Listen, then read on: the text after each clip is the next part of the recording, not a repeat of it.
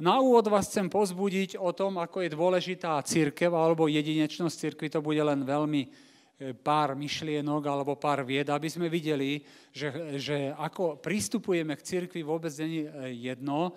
Církev je slovi, alebo vychádza z toho slovička eklézia, ktorá je skupina ľudí, ktorá bola vyvolaná skrze kázanie Božej zvesti. Je to Boží plán A a nikdy nebol B ani C. To znamená, toto není náhradné riešenie, že keď sa nepodarilo poprvé, že si mal byť kuchár a není si, tak teraz si čašník a keď si nie čašník, tak sa z teba stane elektrikár. To takto nefunguje. Církev vždy bola, je a zostane plánom A. A církev to nie sme len my, ale to sú všetci, ktorí boli pred nami a všetci, ktorí budú aj za nami. Církev na zemi je Božia dokonalá vôľa a my toto stále hľadáme, preto stále sa zaoberáme Božím slovom, eh, chceme, aby Svetý Duch zostupoval, pretože je to veľmi dôležité, aby sme si zvykli naplňovať Božiu dokonalú vôľu. Keď sa pozriete na históriu cirkvi, tak zbadáte od 3. storočia možno až do teraz, alebo do začiatku 20. storočia, že církev sa pohybovala ledva na hrane tolerujúcej Božej vôle, niekedy aj ešte, ešte horšie.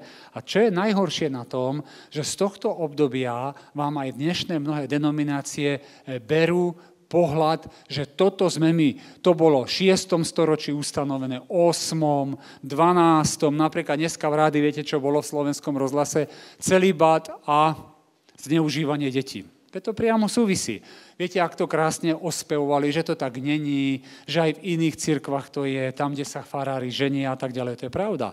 Len nech povedia tie percenta. Nech povedia tie percenta, koľko je to tam a koľko je to tam. Viete, a toto tak znešene sa hovorí. Preto ti poviem, že my sa dívame vždy na prvotnú církev ako model a takisto aj pre teba chcem povedať, že aj my máme v živote také obdobia, kedy sme nenasledovali dokonalú Božiu vôľu, ale ledva tolerujúcu a potom sa môže tolerujúca Božia vôľa stať pre teba normou a stále budeš žiť len v tej tolerujúcej. Nie, ty sa navráť do tej dokonalej Božej vôle pre tvoj život. Neber si príklady zo svojho života, ktoré boli, ktoré boli zlé a Boh ťa nejako cez to previedol. Keď sa pozriete napríklad na církev, tak musíme povedať, a nečudujte sa, keď hovoríme, že vznikol v 48. tento jeden štát, ktorý sa rozhodol chrániť svojich ľudí, ani jedna, ani jedna ani jedna církev sa oficiálne počas druhej svetovej vojny nepostavila proti vyvražďovaniu Židov. Ani jedna.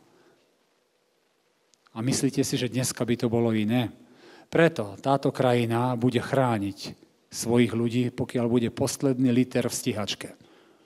Lebo nikto ich neochráni. A stadiaľ to musíte vidieť aj tie mnohé veci. Pravdepodobne sa tak bali Hitlera, Mussoliniho a Japoncov, že nikto oficiálne do toho nedrnkol, pravdepodobne to bolo preto, ale to není ospravedlnenie. A zase povedia, aj tí sa postavili tak, aj tí, aj tí, ale bolo treba, aby niekto oficiálne sa postavil a povedal, ani jedna církev nebola.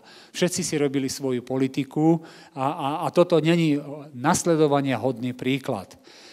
Čiže Církev nie je Božie kráľovstvo, lebo Božie kráľovstvo je nadčasové, je väčné, je nepohnutelné, ale Božie kráľovstvo sa prejavuje v církvi, napríklad v starom zákone skrze starozákonných svetých, v Novom zákone to bolo, boli apoštoli a vrcholom bol e, Pán Ježiš Kristus. Takže nemôžeme povedať, lebo v určitom období církev povedala, že Božie kráľovstvo rovná sa církev, to bolo okolo roku tisíc, to tak nebolo, nie je a nikdy ani nebude. Tak ako keď niekto povie, že sú kresťanské štáty. Není na tejto planete jediný kresťanský štát. Není. Áno, v Koreji je 30%, v Argentíne neviem, koľko tam je veľa kresťanov, ale to, to má ešte veľmi ďaleko od kresťanského štátu. Takže toto je to isté.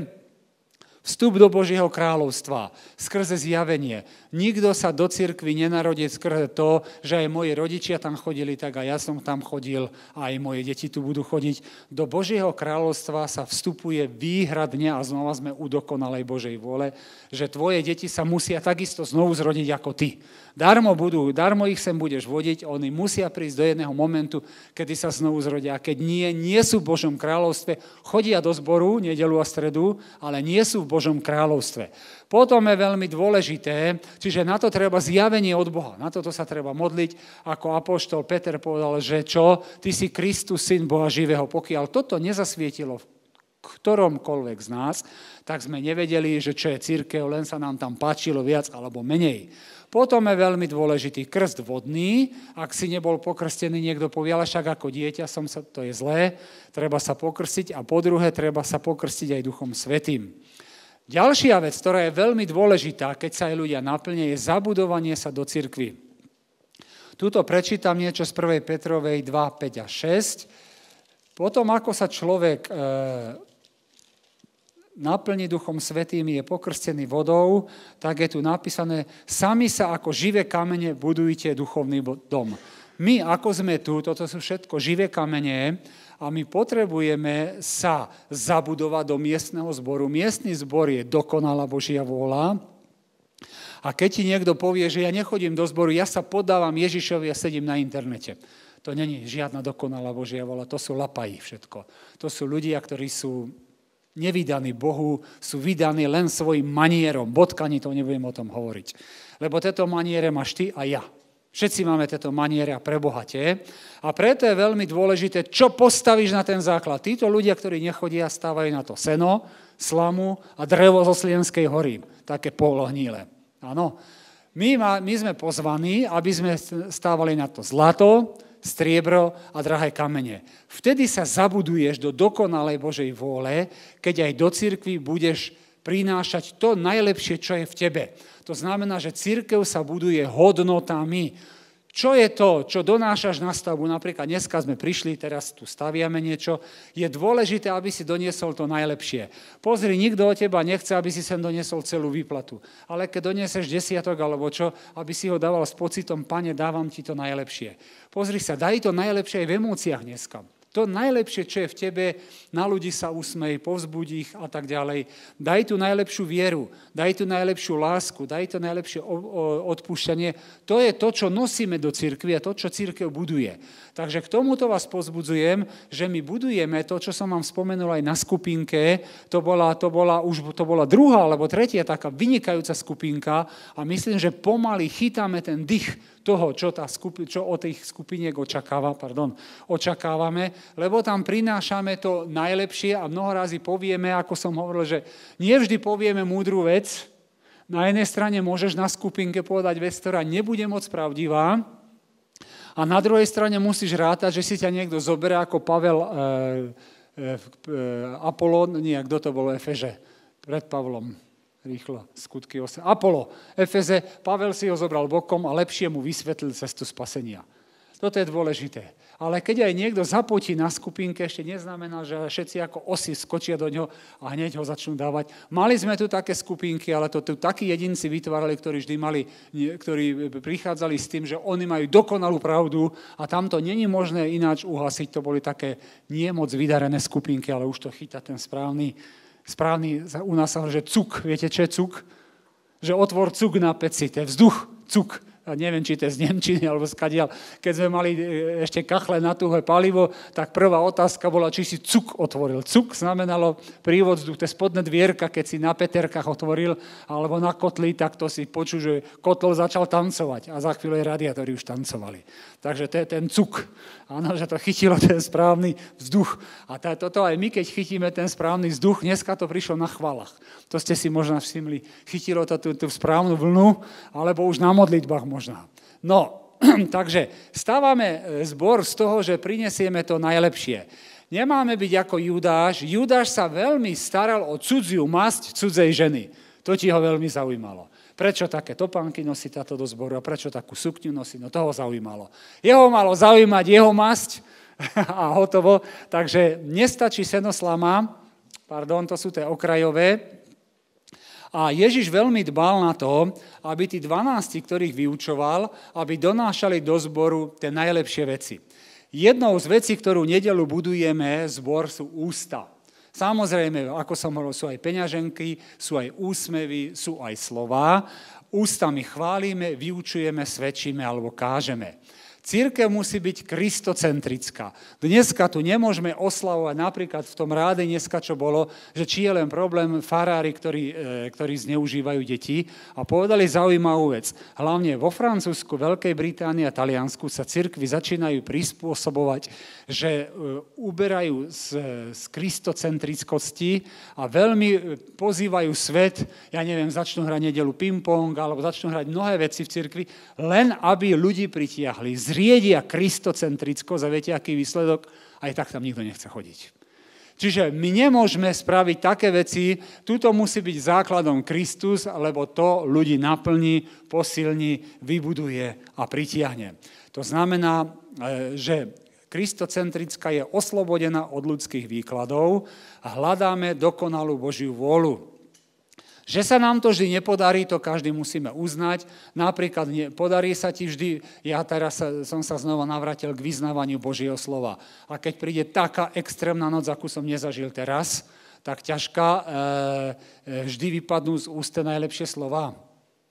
A ráno som mal sa dať za volant do 6. alebo po 5. a som videl, že som úplne, že telo mi toto robilo, e, tak prvé, čo ťa napadne, Bože, kde si a prečo, a tak ďalej. Čiže nie vždy udržíme to správne vyznanie, ale práve toto nás Boh buduje, aby sme ho udržali, lebo ty nevieš, čo bude o 2, o 3, o 4 dní. Boh to vie, ale ja to neviem. Dokonca ani diabol to nevie, lebo není všemocný. Ty nevieš, čo dneska ti Boh zaseje, že o rok to bude, o rok sa stane, vtedy, keď to ty vo viere udržíš. Keď to neudržíš, to stratíš a obviníme ešte Boha, že prečo nám to nedal.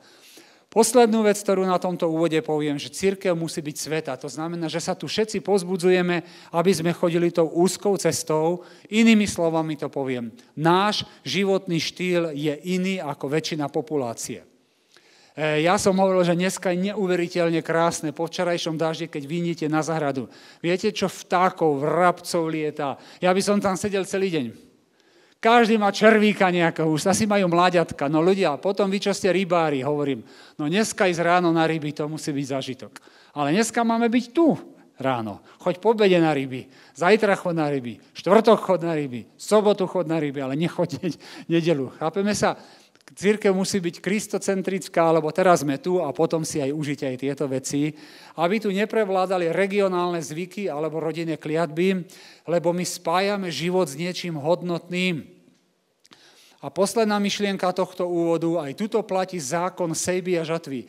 Ak ľudia, ktorí donášajú do cirkvy to najlepšie, budete vidieť, že aj do vášho sekulárneho života bude prichádzať to najlepšie.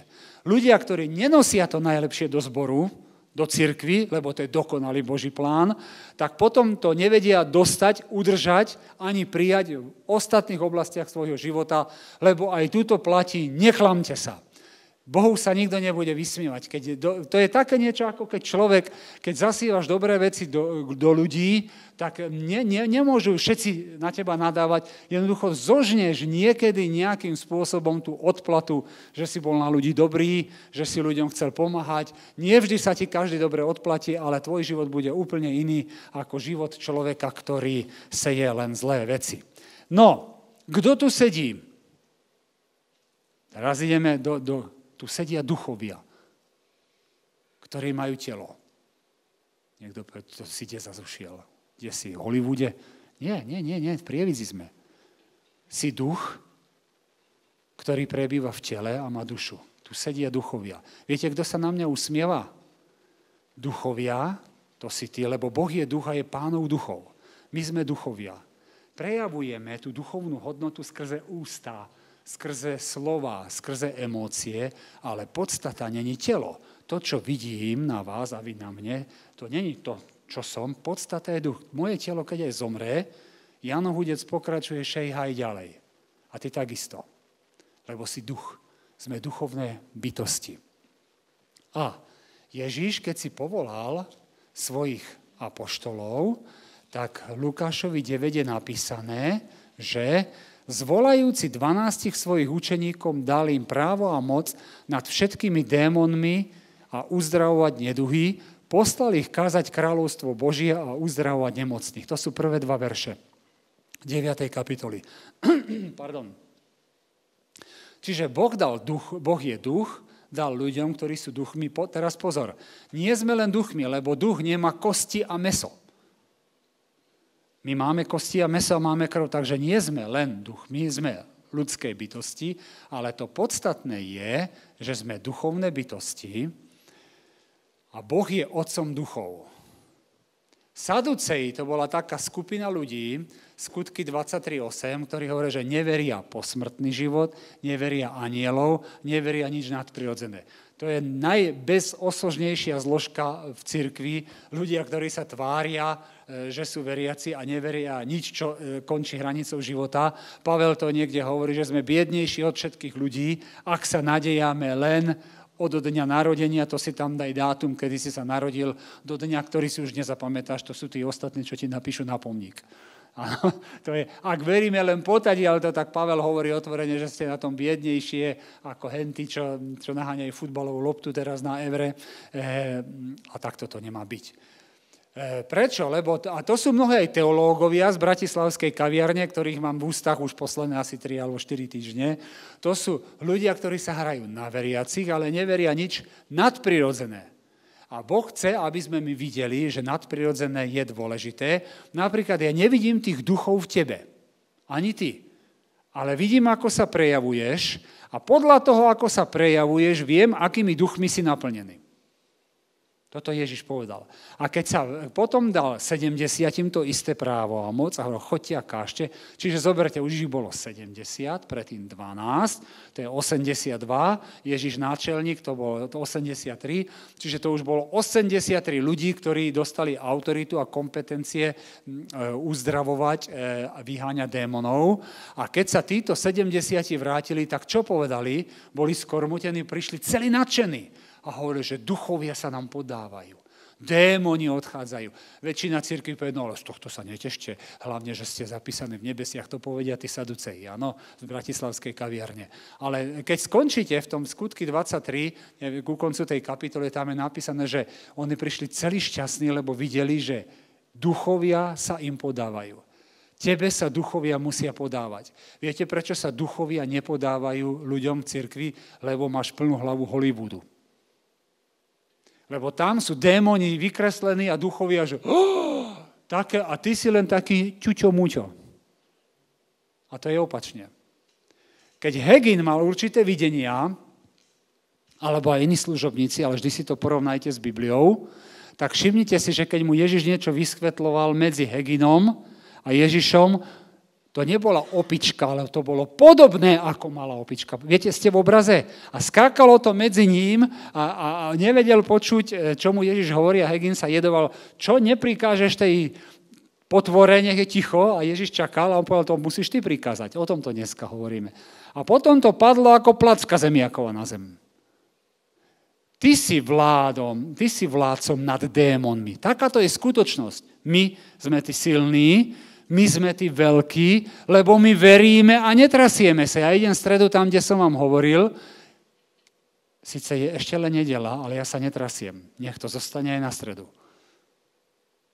Démoni veria a trasú sa. Tu je ten rozdiel. Aj naša viera je koľko razy, že sa veríme a trasieme, ale to, aj to prejde taký, takým filtrom, áno, že, že, že sa prestaneme triasť. Prečo? Lebo buď ľudia sledujú Hollywood, alebo nejaké sci-fi, alebo ak sa to povie, že čítali ste veľa, že aké sú tu démoni, aké sú to príšery, strašidla 4, 6, 8 metrové, aké začnú revať, aké, aké plamene šlahajú, potom ešte princ Bajaja do toho príde, to je naše detstvo. Vidíte, som čakal, ako zareagujú zareagujete presne, ste zareagovali, moja generácia, pri Bajaja tam šermuje, mečuje, áno, takže to zase slovenská televízia natočí. A my máme toto v hlavách stále. My máme tieto pevnosti a Biblia hovorí, že Božie slovo potrebuje búrať pevnosti, lebo my sme duchovia a nám sa musia poddávať duchovia. To je kresťanstvo. Efežanom 4.27 je napísané, že nedávajte miesto diablovi. Čo je tým myslené? Je myslené to, že sme schopní sa mu brániť. Není tým myslené, že on nie je. Ale my máme schopnosť sa mu brániť, dokážeme zavrieť dvere a Jakub zase hovorí, že podajte sa Bohu a sprotivte sa diablovi, Čo to znamená? Že rôzne pokušenia, ktoré prichádzajú na nás od diabla, nemusia byť priamo z tvojho centra, ale zvonka prichádzajú, nemusia zvýťaziť na tebou, lebo sú to duchovia a ty si tiež duch, ale ty si silnejší. Keď bude správne, že sa poddáš Bohu a sprotivíš diablovi. Nefunguje to opačne, že sa len chceš protiviť a nevieš sa poddať. Vidíte, to poddanie je strašne dôležité. Preto tí internetoví kresťania, alebo tí, ktorí teraz varia dobrú polievku a hovoria, že sú kresťania, oni sa nevedia poddať Bohu. Oni sa len protivia stále niečomu, ale to základné tu není. Poddať sa Bohu, až potom sa vieš protiviť diablovi. Takže čomu vzdorovať? Napríklad základná vec, ktorej sa všetci učíme vzdorovať, je strach. To je základný nástroj diabla. A my musíme strhávať tieto myšlienky. Vy, ktorí sa blížite k 60 alebo po 60 zrazu sa vám začnú vynárať veci, na čo zomrel tvoj starý otec, tvoj otec, tvoj dedo alebo rodina. Keď máš 20-30, sa ti to neobjaví mysli. Máš dojem, že to vôbec nemá súvis, ale ak sa blížiš tomu veku, zrazu zistuješ a to ožije zvláštnym spôsobom. Neviem prečo. A začínaš sa toho bať. Napríklad jeden kazateľ hovoril, že jeho starý otec zomrel, keď mal 21. Jeho otec, keď mal 21. On keď mal po 20 začalo ho napadať, že aj ty zomreš, keď máš 21. Tak tomu diabol šepkal, on sa hrozne bál toho. E, toto je strach od diabla. Pozri sa, musím ti povedať, diabol ťa chcel zabiť toľkokrát. A keď nemohol, tak nemohol, lebo Boh mu to nedovolil. Prečítam vám niečo zo Žalmu 91, Keďže sa teraz e, znova zameriavam na vyznávanie Božieho slova, tak toto nech je pozbudenie 91, 10, 11 je. Neprihodí sa ti nič zlého, ani sa nejaký úder nepriblíži tvojmu stanu, lebo prikázal svojim anielom, aby ťa chránili na všetkých tvojich cestách. Jednoducho Boh nedovolí a keď Boh nedovolí, tak diabol, keby mohol, tak zlomku sekundy nás pozabíja všetkých teraz hneď v tomto momente. Všetkých ľudí na tejto planete. Ale Boh nedovolí. Videl som diabla, ako pada z neba. Ježiš povedal učeníkom. Tomu sa radujte. To znamená, už stratil tie kompetencie všetky, ktoré, nie úplne všetky, ale mnohé z tých. Ak mu dáme miesto, tedy sa to stane. Tedy, sa, tedy môže zomrieť ako tvoj otec, starý otec alebo niekto, alebo zomrela babka na rakovinu, rakovinu, ináč toto to, to sú tie familiárne kliatby. Ja keď sa pozriem po našej jedine, títo zomierajú na plúce, títo na srdci a to, to, to, a to funguje všetko. Niekto povie, že to sú len, to sú není bachorky, to sú v skutočnosti tie rody, ktoré ja poznám u nás v jedine, jedných volajú suchotári, či suchotinári, či ako, tí všetci na plúce zomierajú. Ďalšiu rodinu, čo zomierajú, tí všetci na rakovinu. Ten na rakovina konečníka, druhý rakovina plúc, ale všetci na rakovinu iba. Ďalšia odnosť, čo vidím, všetci len na srdce zomierajú. Toto sú tie kliatby, ktoré sa dedia. A jasné, že na tým ty to veľmi dobre vieš a diabol ti to veľmi pripomenie v určitom veku. A teraz ide o to, aby si sa ty tomu vzoprel a povedal nie, pretože 2. Mojžišova 23, 25, 26 čo hovorí? Keď mi budete slúžiť, ja požehnám tvojmu chlebu, požehnám tvojej vode a počet tvojich dní naplním. To znamená, ja budem žiť dovtedy, pokiaľ Boh uzná, toto je veľmi dôležité, ale kedy sa to stane? Keď to bude vychádzať cez tvoje ústa a budú to počuť tvoje uši, to znamená, že tvoj duch to bude vydávať spätne do, do duše a do tela. Tvoj duch, lebo si duchom, si duchom a tvoj duch to musí robiť. Jakob 2.19 hovorí, že démoni veria a trasú sa, klepú sa. Není naša viera dobrá alebo dokonalá, keď veríme a trasieme sa. Že prídu rôzne obavy, prídu, prídu, to je samozrejme, ale nech naša viera každým zhromaždením rastie, pretože to, čo hnevá, alebo poviem to tak, vytáča Ježiša, to je nevera. Poznáte príbeh učeníkov, keď bol Ježiš na hore premenenie vrátil sa, nemohli vyhnať toho démona z toho chlapca a Ježiš povedal, vy neveriace pokolenie, dokiaľ budem s vami. Ježiša hnevá naša nevera. E, a my sa pýtame, prečo to nefunguje. Keď nám to nefunguje, my sa väčšinou nepozrieme do zrkadla, ale väčšinou spravíme nové učenie. To už fungovalo a teraz to nefunguje. Napríklad im tam Ježiš povedal, že iba skrze modlitbu a pôst to vychádza. Pre nás to znamená, že počúvaj Jano, Fero, Ďušo, alebo ak sa voláš, e, trošku sa viac odrež od sveta. A toto sa nám nechce. Prečo by som sa mal odrezať? Prečo by som nemohol 4 zápasy hokeja pozerať za pobedie, keď je to také vzrušujúce? Hentam, odrež sa od, od sveta, aby si sa viacej priblížil ku mne. Inými slovami, skonči viacej s telesnosťou, Daj tam do toho niečo viac duchovného a začne ti to fungovať. Lebo túto vznikajú nové zjavenia, nové učenia a že a to není pre každého.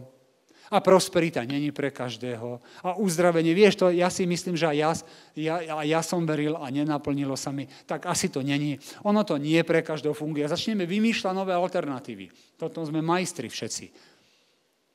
Dobre. Akému duchu sa poddávaš, také preberáš vlastnosti. Ja neviem, aké, akí duchovia vládli nad tvojim životom v týždni, ale to, čo sa prejavuje skrze teba, ukázuje, akí duchovia majú prístup, a nie len prístup, aký s tebou lomcujú. Napríklad, keď sa naplňa človek duchom svetým, tak prirodzene z neho čo prichádza? Vychádza, pardon, láska, radosť, jemnosť, zhovievosť. Človek je taký... Mm-hmm, také, a nie, že sa hrá, lebo má srdce naplnené tým, áno, lebo je naplnený duchom svetým. Ale napríklad, ak je niekto naplnený nečistým duchom, tak hľadá len nečistotu. Ak je niekto naplnený napríklad, že sa otvorí duchu klamstva, tak zistíte po dvoch, po troch rokoch, mali sme tu také persony, mne tu povie toto, tebe tam toto, hen, klamala, kadiaľ chodila. A teraz prečo? Ja neviem, čo robila celý týždeň ale je to totálna klamárka. Prečo? Lebo bola naplnená klamlivým duchom. Je otvorená na tohoto ducha a ona si to už aj neuvedomie, že trom ľuďom z zbore behom hodiny povedala tri protichodné veci, lebo je plná klamstva. Igen je duch, ktorý má do nej prístup. A teraz deti v rodine. Pozrite sa, deti sa narodia také nie nevinné, všetci sme poznačení, ale keď sa pozrite na vlastné deti, tak väčšinou tí duchovia, ktorí vládnu vo vašej rodine, napríklad tam môže byť strašná nervozita, alebo napätie, alebo disciplína prehnaná, alebo čo, daj si tam čokoľvek, na tých deťoch to vidíte. Deti to, lebo sú bezbráne svojím spôsobom. Deti sa ešte nevedia, nevedia, však si zober, keď si mal 8, 12, 13, 14, v podstate my, sme boli len otieňom toho, čo sa hovorí, čo hovorili naši rodiči, alebo čo do nás vkladali.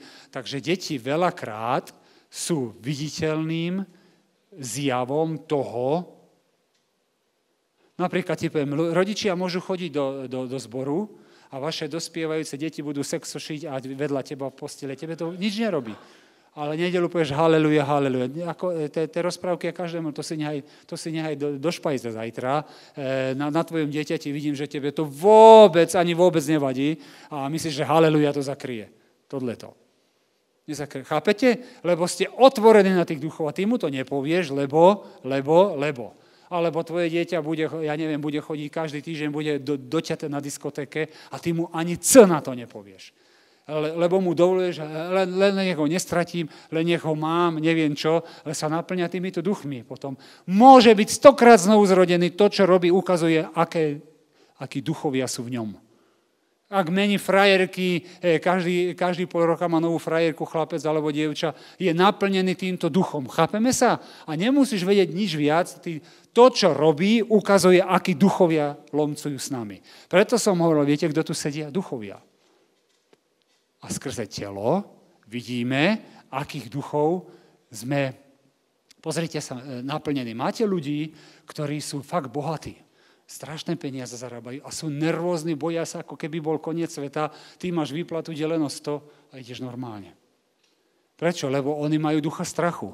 A keby ešte, keby niekto povie, ešte keby som mal lepšiu výplatu, môžem mať 5 krát lepšiu výplatu, lebo je otvorený na ducha strachu. Michael Jackson nosil rukavice stále. Filtrácií mal v aute toľko a nakoniec na čo zomrel? Osobný doktor mu dal zlú inekciu. Toľko filtrácií, návodu mal to, však ja to poznám, ako ľudia filtrujú, pomaly len seba nefiltrujú. Áno, toľko filtrujú vodu, vzduch, len aby, však nehovorím, že je to zlé, áno, však nemáme nejaké, nejakú, nejakú kalnú vodu piť alebo čo, ale toľko sa zameriavajú na filtráciu všeličoho, takže vážení sme tu duchovia, ktorí majú telo. A toto je dobré, toto nie je na odsudenie. Ďalej. Potom ľudia vymyslia reinkarnáciu. Keď vidia, že sa nemôžu vysomáriť z toho, tak povedia, vieš, ja som bol toto, potom budem kráva, potom tela, potom budem bujak či bík, potom budem to, potom... A fúr sa hrajú na niečo, fúr sa inkarnujú niekde. Prečo? Lebo si chcú ula, uľahčiť z toho ťažkého životného údelu, ktorý niekedy je fakt ťažký. A čo nám Biblia hovorí? Ty si Božie dieťa a vzopri sa diablovi. A my, či veríš alebo nie, my sa stále viac podobáme na Ježiša. Nevšimli ste si to? Keď sa pozrie rok, dva, tri dozadu a pozrieš sa dneska na seba, musíš uznať, že dúfam, že nie miligramy, ale aspoň gramy alebo dekagramy sú tam. A keď to budú kilogramy, tak to bude ešte lepšie, že sa viac podobáme na Ježiša. Preto chodíme do zboru, aby sme sa viac podobali na toho, komu veríme. Nech sa démoni trasú. Jedno vyznanie, keď budeš selektívny, staneš sa efektívnym. Nie všetko, čo ti aj veriaci povedia, na všetko reaguj.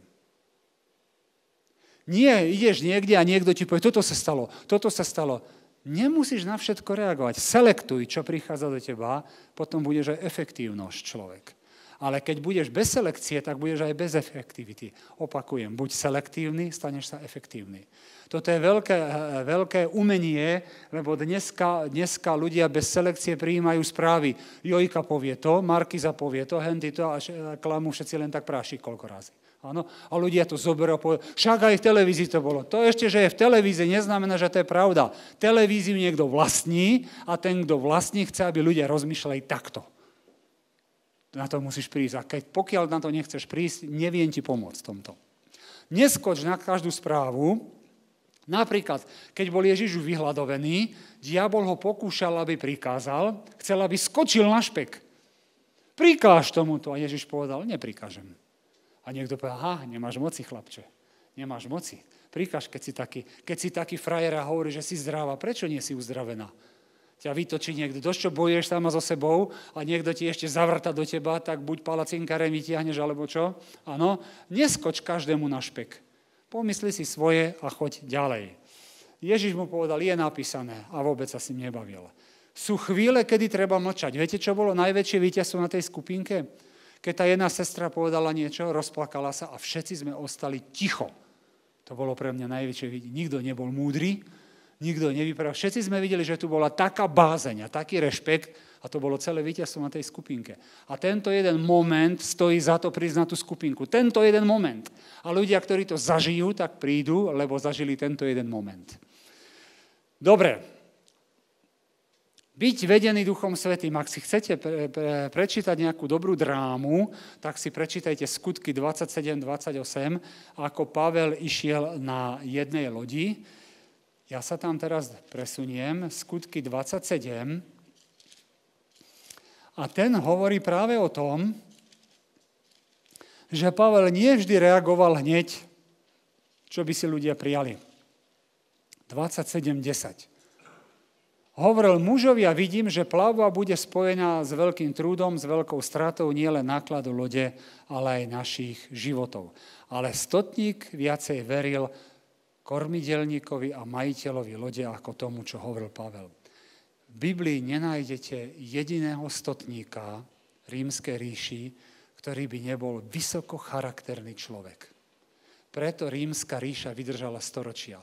U nás, keď vidíte, čo sa všetko deje, u nás neviete nájsť charakterného človeka v polícii, v prokuratúre. Všetci sú uplatiteľní, všetci to je postkomunizmu, sa tomu to hovorí. Všimnite si. Preto to je hnilé a preto to nemôže fungovať. Ale ľudia hovoria, že to už ty hovoria ty. Prosím ťa, keď budeš trochu múdry, rímska ríša vydržala storočia. Nie 10 rokov, nie 20, nie 80, nie 150, ale storočia. Vydržala na tom, že štátnej správe alebo u stotníkov, ktorých Biblia hovorí viacerých, boli všetko, doko, nie že dokonali, vysoko morálni ľudia. Štátna správa, keď takýchto ľudí tam dosadí, tak tá spoločnosť sa má úplne inač.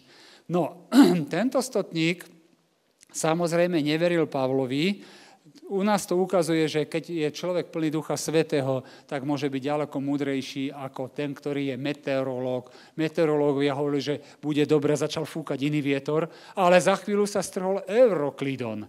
Predtým začal fúkať južný vietor, tak povedali, vyplavíme sa. Pavel hovorí, nie, bude to zlé. Ale oni povedali, SHMU hlási, že bude pekne, že e, hovorí aj títo, hlásia to aj na Markize, čo to takto potom prídu takto.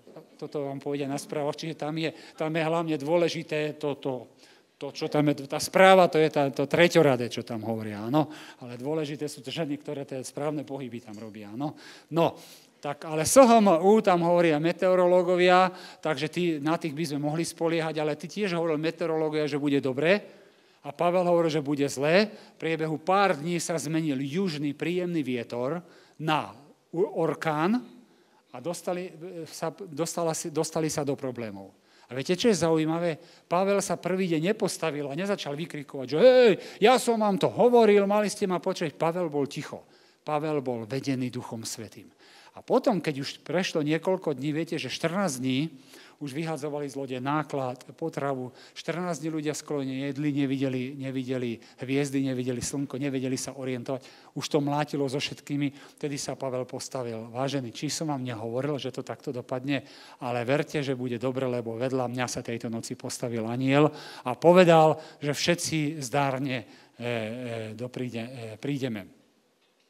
Otázka je, prečo Pavel nepovedal stop búrke hneď prvý deň, keď on vedel, ako to dopadne? Prečo nepovedal tej, veštici, tej dievčine, vešť, ktorá mala vešteckého ducha, hneď prvý deň, ktorá vykríkovala, kde to bolo, vo Filipách, či kde, že títo, títo sú sluhovia najvyššieho Boha. Prečo to Pavel nepovedal prvý deň?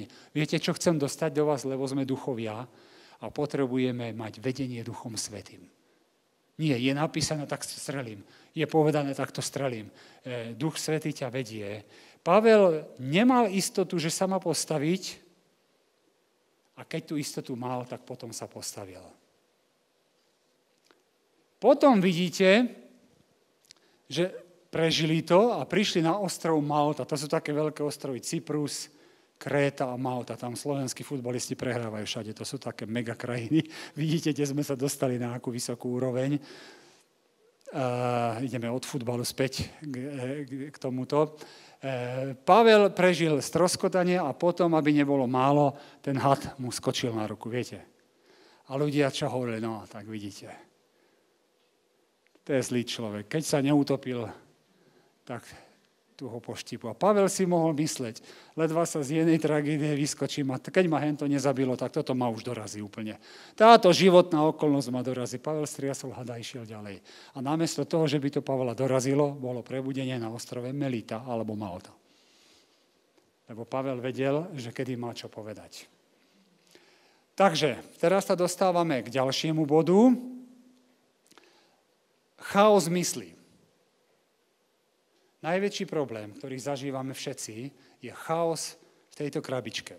Efežanom 6.10, všetci poznáte.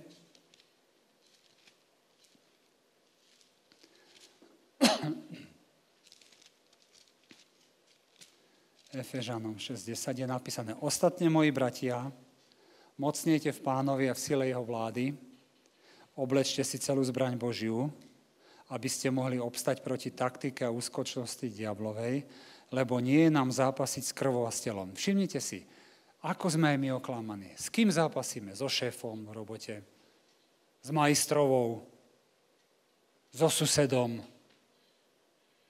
Ja neviem, dajte.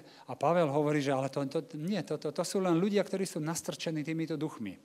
Váš zápas je trošku ďalej za tým. A my skočíme na ten špek, lebo myslíme, že títo, títo sú tí, ktorých, ktorým, e, s ktorými bojujeme, s kniežatstvami, mocnosťami, so svetovládcami temnosti tohto veku.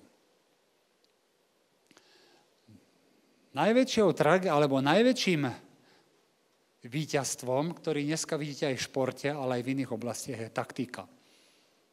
Taktika nepriateľa.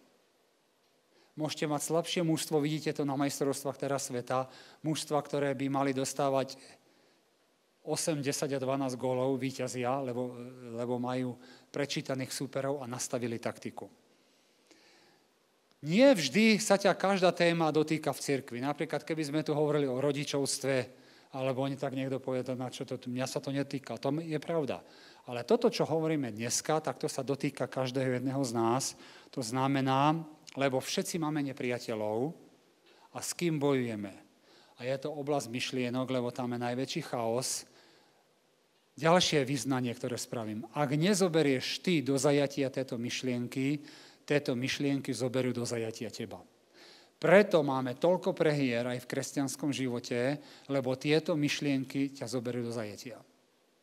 Neidem sa triať, stredu idem tam, kam idem a chcem si zachovať to, čo mám teraz. Viete čo? Pokoj, víťazstvo, vyznávanie Božieho slova. Neviem, čo tam budú robiť so mnou. Neviem, čo mi povedia všetko. Viete, môžu si dať brýle a povedia ti veci, keď ti, keď ti nohy prestanú fungovať, že sa akoby zlomíš pod tým, e, ale nejdem sa triasť. Toto je veľmi dôležité. Tak na čo sa modlím, na čo vyznávam Božie slovo, keď príde takáto situácia a sa človek rozklepe, ak nezoberieš ty tie myšlienky do zajatia, oni zoberú teba. Preto je veľmi dôležité udržať si mysel čistú, svetú, je to, e, veľmi, je to dobré. No, Pevnosť v 2. Korintianom zase hovorí, že nie je proti komu, ale, e, ale kde bojujeme. Je napísané, že e, diabol vystaval pevnosti v našej mysli. To hovorí 2. Korintianom 10, 3 až 5. Radšej to prečítam, lebo poznáte to, ale keď to začnem čítať, hneď budete vedieť. 2. Korintianom 10. Lebo chodíme v tele, nebojujeme podľa tela, zbrania nášho bojovania nie sú telesné, ale mocné na borenie pevnosti. Myslíš si, že máš pevnosti vystavané v živote? Ja si myslím, že áno. Každý sme sa, už keď sa pozerám na to naše vekové zloženie, už podľa mňa 13-15 ročný chalan vie, ako sa bude uberať jeho život. Alebo má predstavu. Možno, že nie, ale po, po 20 si myslím, že každý už, už sa nejako, už nejako e, smerujeme. A z originálu, z prekladu pevnosť znamená väzenie. To znamená pevnosti, ktoré ťa uväznia. Napríklad niekto má strach ísť do jaskyne. Poznáte to. Niekto má strach, ja neviem, s padákom vyskočiť.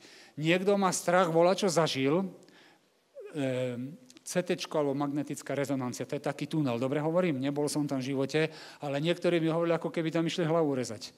Lebo volá, čo zažili niekde, nejakú fóbiu z niečoho, hovorím, že ak si tam lahneš, stlačia gombík a na druhej strane vyjdeš, potom stlačia druhý gombík a vyjdeš na druhej strane, ak chleba do pece, keď ide. Tam sa nemusí, nie, ja tam nejdem, ja tam zomrem, a však čo ti tam budú robiť? Len ťa to presvieti a nebudeš vedieť. Ale to, mal z niečoho taký strach a to je pevnosť, ktorá ho nepustí.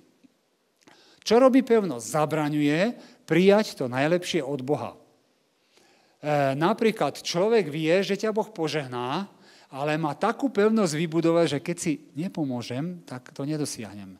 Musí ukradnúť aspoň dva cukríky v zelovod, nie zelo, je v potravinách. Áno. A cíti sa lepšie, že dopomohol si k prosperite alebo niečo také. Alebo e, e, Abrahamova žena Sára povedala, musíme dopomôcť tomu pánu Bohu neschopnému. Tu je Hagar, aby choď to zariadiť, tu je stan voľný. A potom, keď sa to stalo, tak aby prišiel, aby Abraham na koberec a povedal, to si čo vyviedol? Však povedal, však to čo si chcela. Plnil som vôľu manželky Márie. Mariánsky kult. No však som vykonal, čo si chcela. Máme zase problém. Tak tvoj problém. A doteraz sa to nevedie, doteraz to nevedia vyriešiť. Takže to sú tie pevnosti. Ľudia, búrame predstavy. Teraz poviem nepríjemnú vec. Mnohí ľudia sa nevedia oženiť a vydať, teraz sa prosím neurazte. Lebo majú také fantasmágorie hlave, aký princ by mal prísť. Otvorte to pred niekým. Niekedy, ja, ja keď som zistil, dievčata, aké majú predstavy, že aký by to mal byť. Prosím ťa, normálny chalam príde, ktorý má dve uši, dve noši a dve, dve, dve nohy. Dve, čo som povedal? Dve, noši, dve, dve uši, dve nohy a bude mu smrdeť možno a tak ďalej a tak ďalej, nebudeme, nebudeme o tom hovoriť. Príde normálny chalán, ktorému ty pomôžeš, aby... Ale niekedy tie dievčatá majú také predstavy. Strašné. Ale aj chalani. Keď som sa s chalanmi, ktorí nevedeli, on chcel modelku. A keď ja hovorím, vieš čo, ja ti donesem jedno zariadenie, ktoré sa volá zrkadlo. Pozri sa na seba. Pozri sa na toho pána Vúla. To je len zlat. Ale nejdeme donútra. A ty chceš Ty, ty ako, chápete? To ľudia nevedia prijať. A ja si myslím, že to, ono je to smiešné, čo hovorím, ale je to pravdivé. Že mnoho rázy e, už vedľa teba tvoja nastávajúca išla, alebo nastávajúci, ty ho nevidíš, lebo to by mal byť taký a taký, a v cirkvi to je taký. Dobre, dobre, ja ti to neberiem, len prosím vás, toto sú tie pevnosti. Úplne normálny človek, úplne e, človek, muž alebo úplne normálne dievča príde, ale, ale väčšinou, alebo keď vidím, že takých atypov majú vysnívaných, ja tomu nechápem. To vidím, že z rodín vychádza mnoho razy, že, že, že takých čudákov priťahuje, že ja vám poviem, to treba otvoriť a rozbiť to všetko, ale nečakajte, že ja to rozbím stadiaľ. To, to sa nedá. To musíš chcieť ty a ty musíš... Prečo? Lebo to je pevnosť, ktorá ti bráni, aby si spoznal toho pravého alebo tú pravú. Už to, už to nejako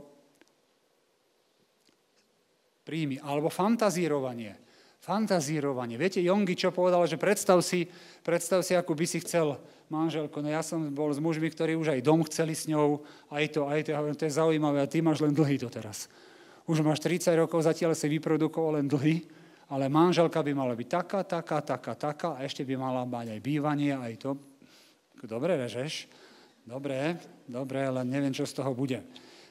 To je také isté, ako keď diabol. Vám už niekedy zaklopkal diabol a prišiel v bielom plašti s výsačkou, že ja diabol?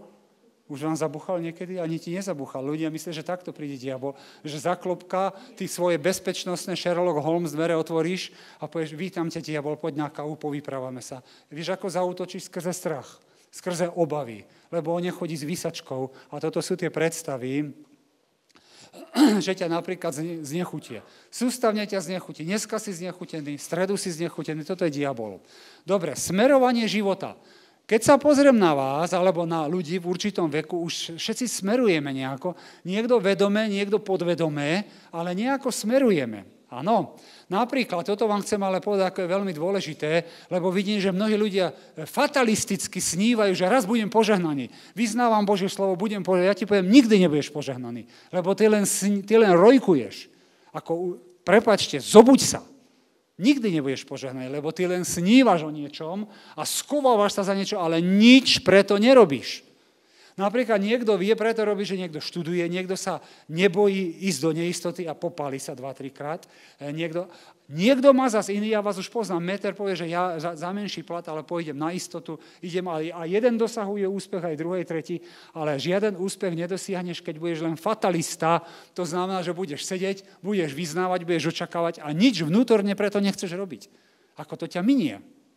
A potom povie, že to nefunguje, že pre mňa to nefunguje. Vážený, nie. Lebo ty si duch a ty si otvorený na fatalizmus. Na skupinke si to rozoberete, čo je to fatalizmus napríklad. A, a, a diabol ťa bude len sklamávať. Pozri, nemusíš mať 5 vysokých škôl nemusíš mať neviem čo, ale niečo v tebe je už len dobré, napríklad ako ja, e, niečo už len Boh videl na mne, že viem podnikať, keď ja počujem hodnotenia, že, že oco, ako tá tvoja firma môže ísť. Jeden, keď sa pozriem taký, ty si taký, taký. A ja, že jak to je možné? Ja hovorím, ešte zaujímavé moja, že 23 rokov to stále ide. Ja síce neviem ako, ale ide to. A ľudia nás chcú a viem uživiť dobre rodinu. Hotovo, mne to stačí. Áno, ale že by tam boli nejaké veľké predpoklady, to doteraz nevidím, ale nejaké tam boli. A Boh dá dôraz na tie nejaké predpoklady. A máš niečo v sebe. Ale fatalizmus spôsobí to, že, to, že chceš byť doktor, ale pritom ledva učilište spravíš. Tak buď učilista, hotovo. Tak nemusíš mať 5 titulov. Dobre. Takže smerovanie života. Teraz hovoríme o kvalite ducha v tebe. Nehovoríme len, kam ideš, ale aj kvalita. Kvalita tvojho života, ako sa odvíja. Tak ako vidíte dneska už na kvalite stravy, 90. roky, pamätáte sa vy, ktorí ste starší, parky a všetko v potravinách bolo podľa toho, aká bola cena. Všetko pod 100 korún bolo dobre, to je po 3 eurá. Dneska to prišla už taká doba, že čo vidíš lacné, to už nechceš, lebo to je prifarbená, dochutená múka a ty keď chceš párok, tak to musí puknúť v ústach a radšej zjem 3 dobré, ako 6 e, ochutenej múky, ale máš problémy same potom. Čiže dávame dôraz na kvalitu už aj trošku ale kvalita tvojho života sa odvíja skrze duchov, ktorým si otvorený. Ja ich nevidím. Ty ich nevidíš, ale prejavujú sa. Duchovia sa prejavujú. Napríklad stále hysterický človek, nemusíš vedieť, akým duchom je doma otvorený, lebo není sme tí, ktorí vidíme, Ježiš videl do ľudí, ale ja nevidím do teba, ani ty do mňa. Ale skrze prejavy, napríklad, keď niekto musí 6 krát sa opiť v týždni. Nemusíš vedieť, ako sa tí duchovia volajú, ale vieš, že je na ne otvorený. Podľa čoho to vieš? No lebo šestka príde doťatý v týždni. On to musí spraviť. Teraz sa tomu nesmejem, ale rozumiete mi? Lebo tí duchovia ho huckajú. A ty ideš okolo tej istej krčmy, kľudne si dáš pivečko, dáš si kofolu, dáš si, ja neviem čo, ideš ďalej. A vôbec to s tebou nič nerobí, ale on, nechcem povedať, že on za to nemôže, ale proste jeho to stiahne a potom dotla. Áno? Lebo sú to duchovia, Naša kvalita života sa odohráva od toho, akým duchom sme otvorení a my to tu nevidíme. Ale podľa toho, čo žijeme, nám ukazuje, akým duchom si doma otvorený pobede, keď doma sám snívaš, keď cestuješ, keď rozmýšľaš, akým, akým duchom si otvorený. Rímanom 8.6, neviem, čo tu je. Musím sa napiť.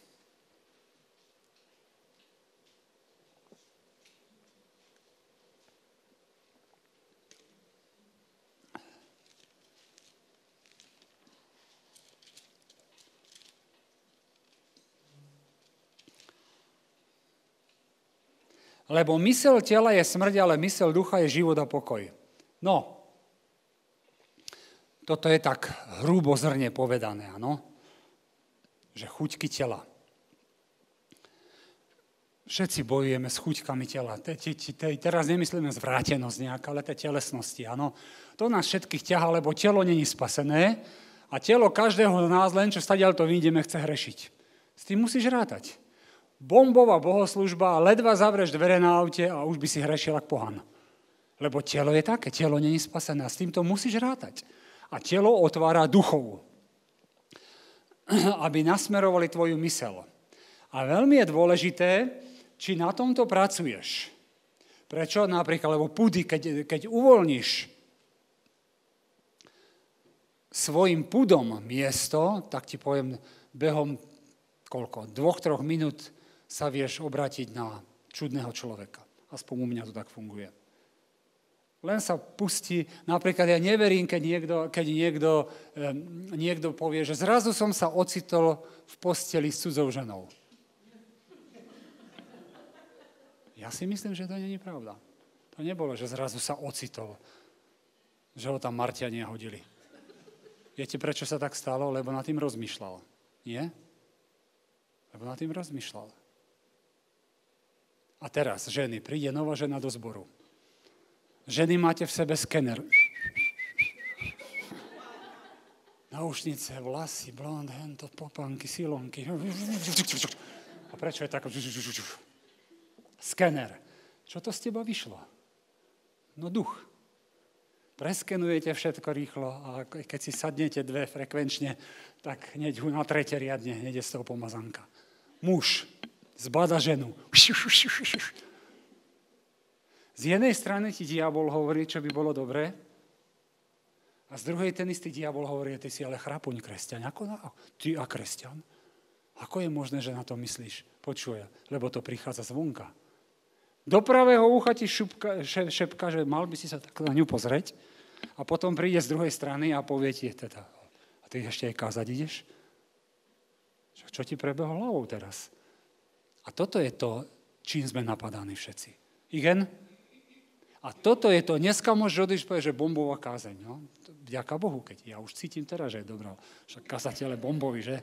No ale dobrá je, niekedy sa viete, že niekedy kážem a mám tu takú agrengenovú tú, tú plombu, tú, tú, tú, tú, tú, tú, ten, tú clonu 2 cm ulovenú a nie, nie to k vám dostať. Ale dneska to je od začiatku veľmi dobré. Ale toto je obrovská práca pre každého z nás. Není to, aké bolo pomazané zhromaždenie, aké bolo požehnanie vyliaté. Áno, to je vôbec o tom. To je o tom, ako sa my naučíme disciplinované púšťať selektivitu a efektivitu.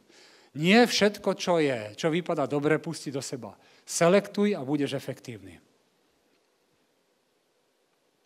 Napríklad, keď hovoríme o tom tele. Mysel, e, mysel tela, kde som to bol? Mysel tela je smrť. Z iných zborov. Ženy, kresťanky, keď minú svoj cieľ, ja vám poviem, cirkvi sa vie vytvoriť atmosféra ľudí, ktorí ohovárajú ďaleko viac ako ženy na tovarenskom páse. Lebo nenasledujú to, k čomu ich Boh povolal, ale myslia si, tie skenery pustia a všetkých hodnotia, ktorá by mala byť ako v zbore a ako by mala byť oblečená, tej sa dobre hovorí. Toľko ohováranie je tam, to sú tzv. služobníčky v cirkvi. Prečo? A na tým vidíte, akých duchom sú otvorené. Oni sa stretávajú 2, 3, 4 krát do týždňa, aby sa akože modlili, ale len rozoberajú drby od druhých ľudí.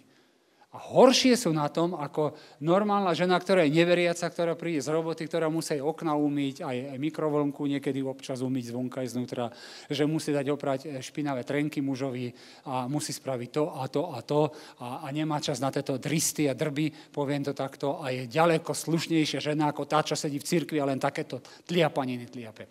Ste v obraze trochu? Lebo môžeš byť cirkvi a môžeš byť na týchto duchov stále otvorený. Ešte to zhrniem plný negativizmu.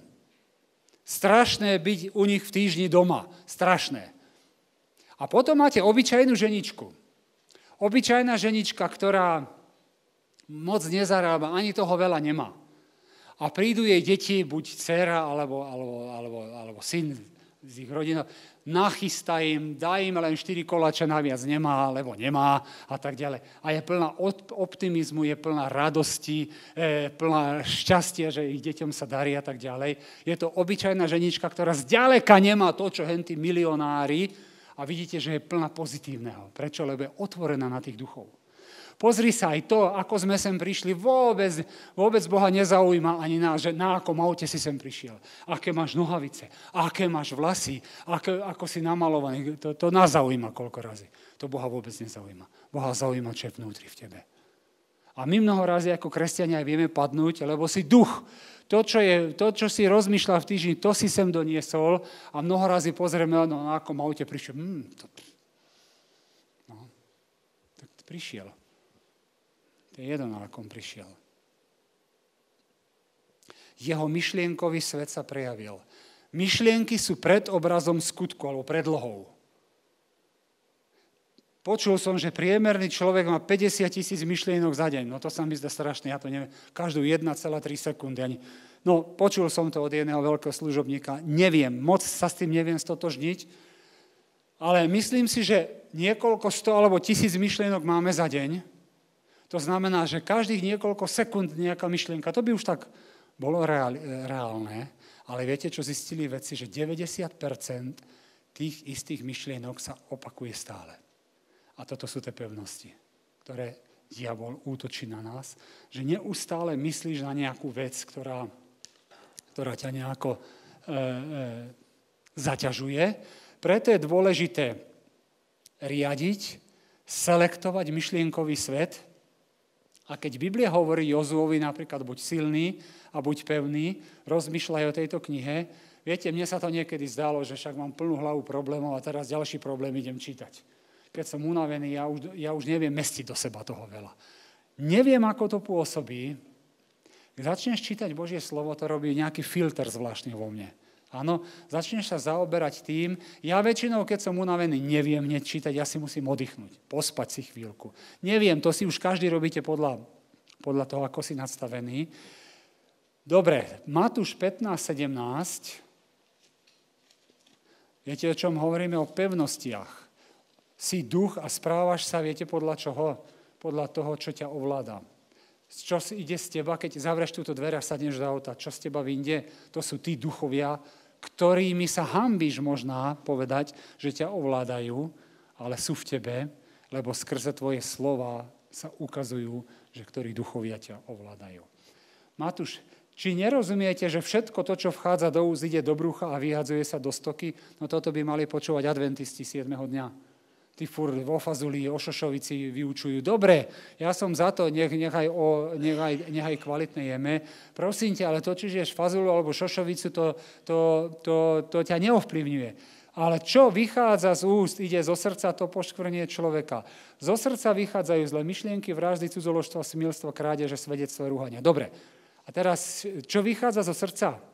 Som presvedčený, že 90% z vás nechytilo tú prvú myšlienku. To prvé slovo, ktoré je tam napísané, lebo ani ja som ho nechytil. My povieme, zo srdca idú vraždy, cudzoložstva, smilstva, rúhanie. Viete, čo tam je napísané prvé? Zo srdca vychádzajú zlé myšlienky. To je ako prvé uvedené. Zlé myšlienky. Ráno staneš a napadne ťa ozaj na toho zlé, na toho, na to. Diabol útočí takto. A potom človek, ani nevieš, prečo prídeš v takomto stave.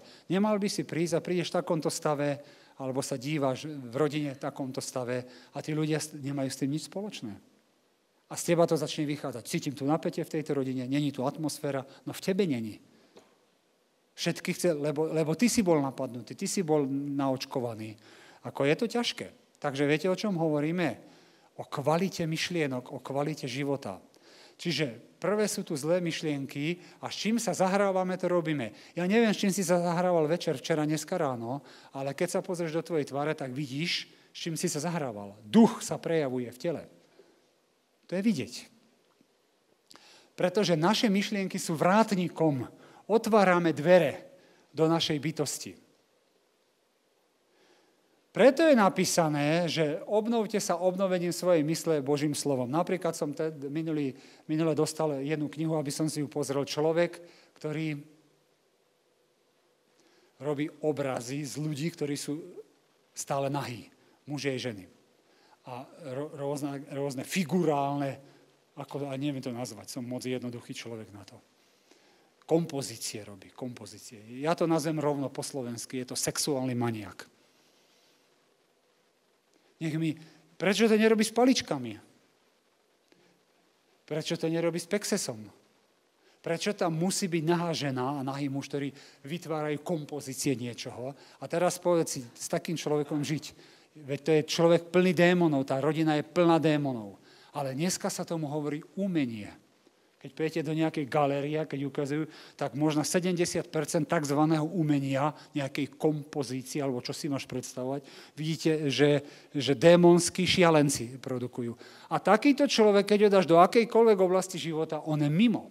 On je úplne vyblonkovaný, on nevie normálne žiť, on len kompozícia. Ja ti poviem, keby si mu zobral tie nahé ženy, tak on nevie žiť, lebo je to maniak. Potrebuje démonov vyhnať zo seba. Už ste v obraze? Duchovia sú v tých ľuďoch.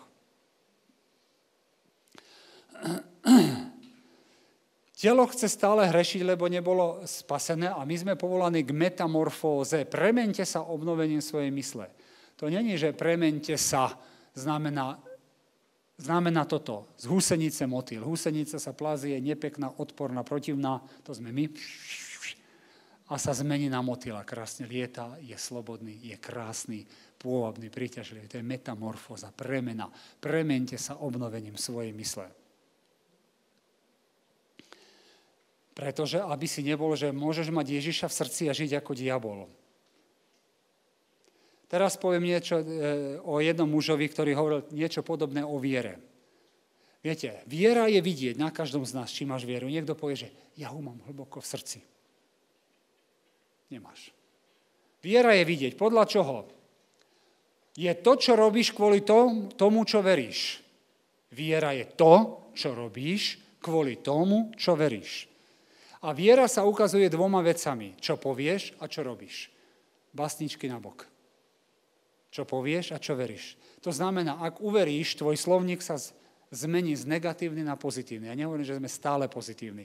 Ale keď si kresťan, a túto som vám na úvod e, doporučoval, ak si vypadol možno po rokoch z dokonalej Božej vôle a už si s tolerujúcej Božej vôli a vedľa teba, keď niekto cestuje do zboru, do zboru alebo doma si len plný negativizmu, negativizmu, ty si už není dokonalej, ty si už možná na hrane tolerujúcej Božej vôle. Lebo z teba nehovorí, nehovorí Duch Svetý, ale démoni. Si plný zlých duchov. Ten negativizmus to ukazuje. Pretože to není viera. Alebo ešte toto musím, ešte toto musím. Nie, nie, nie, to sú duchovia, ktorí ťa ženú, ale to, to si rozoberte niekde inde, ja o tomto veľa kážem. Čo povieš, čo robíš. Buď budeš veriť, alebo pochybovať. Viete, kto sú zákonníci? Zákonníci sú špeciálni ľudia, ktorí vždy sedia na mieste, kde posudzujú iných.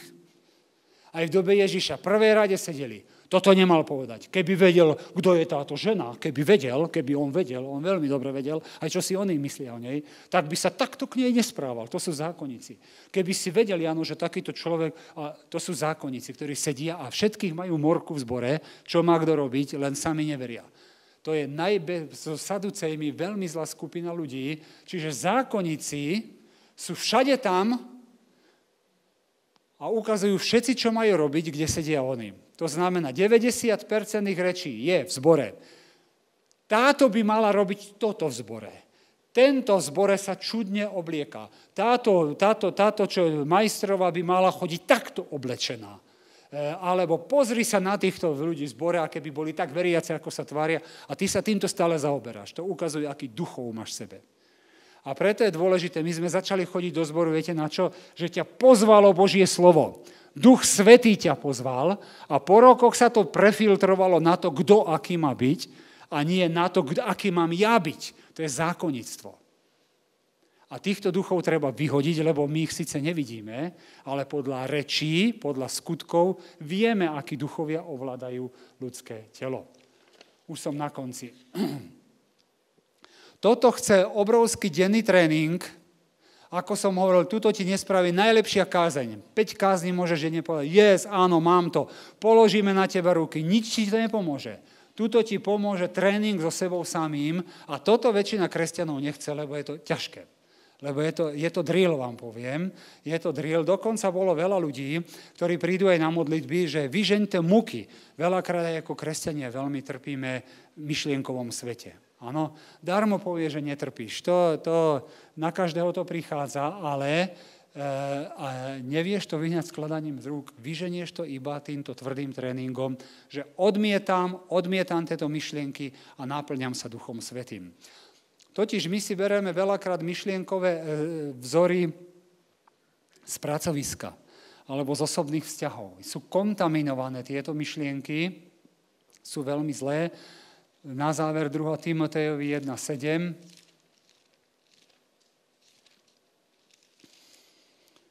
Lebo nám nedal Boh ducha bojazlivosti, ale moci, lásky a zdravého rozumu. Pozri sa, čo tu dal Boh a zdravý rozum. Kde si nasmerovaný, povedz mi. Ak je niekto nasmerovaný za úspechom, vnútorne sa otvára na týchto duchov a aj preto niečo robím. Ak nie si nasmerovaný, tento alibizmus vyhoď, že, ne, že ťa Boh požehná niekedy. Prosím vás, veľkou bolestou toho nebudeš požehnaný nikdy. Lebo si alibista, pacifista, ktorý sa schováva za zletné vyznania, ktoré nefungujú lebo tvoj myšlienkový svet je bezhodnotný a nejdeš tým tou kvalitou myšlienok k tomu, aby ťa to doviedlo k tomu cieľu. Iba sa schovávaš za nejaké vyhlásenia, ktoré pustíš tam a tam, ale len čo ich ukončíš, znova sa otvoríš myšlienkovému svetu, ktorý ťa ubíja stále. Napríklad depresia. Ja by som mal byť človek úplne depresívny. Keď sa nemusím to vyprávať, možno ty si na tom podobne. Človek, na ktorého útočí depresia, je človek bez odvahy, chytený do pasce a 90% myšlienok napríklad sa točí okolo, nikdy sa nevydám, nikdy sa nevydám, nikdy sa, nikdy sa neožením, nikdy sa neožením, nikdy nebudem mať peniaze, nikdy nebudem mať peniaze, nikdy e, rakovinu dostal môj otec, jahu dostanem, jahu dostanem a v tomto svete stále ťa chytia tieto myšlienky a 90% dňa sa točíš okolo tohoto. O tomto som dneska kázal. Že máme všetci k tomuto nábeh? No jasné, že máme. Ale práve Boh prišiel na to, aby zbúral tieto pevnosti skrze prítomnosť Svetého Ducha. Ešte to zjednoduším a poviem, ak budeš naplňaný Svetým duchom, to znamená, že Božím slovom a že, že, že chceš výjsť z tohto zajatia, ktoré je ukrutné a bolí. Ukrutné a bolí aj kresťanov, tak dá sa z toho výjsť. Napríklad, ako zbadaš, o čom stále táto dáma premýšľa, o čom tento muž stále premýšľa. Ja vám poviem, o čom stále hovorí. Keď poznáte tých ľudí bližšie a keď ich pozriete, tak to sú chodiace a daj si tam dvojbodka čokoľvek, o čom hovoríme, to je o čom premýšľame, o akých, duch, akých duchoch sme chytení. Myšlienky, pevnosti, skutky.